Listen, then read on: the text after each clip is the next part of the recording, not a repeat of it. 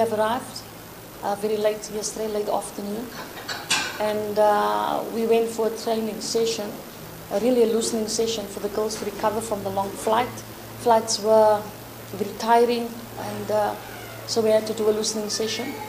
The girls looked much better uh, yesterday. Um, I thought we focused a lot on the phases of play and a constant repetition, repetition, uh, so that the girls can remember um, what they need to do within those moments of the game.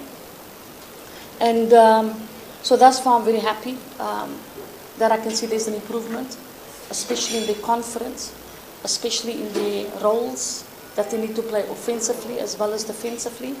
Yes, maybe we might make one or two changes um, so that we could solidify the team. Playing against Cameroon the first leg um, made us really look and see where our weaknesses were, uh, which is always sometimes good in the game, so that we can do better um, tomorrow in our final match. I'm confident that we will have a better performance. I'm confident that the girls will have more confidence and more discipline um, in the way they played. And uh, I always say that tactical demands, tactical play demands really team tactical discipline. So I'm really confident that uh, there will be a better display, and uh, because I can see the confidence in the players.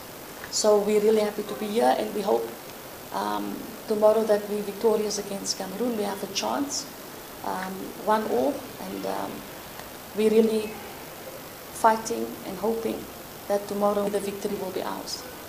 Thank you.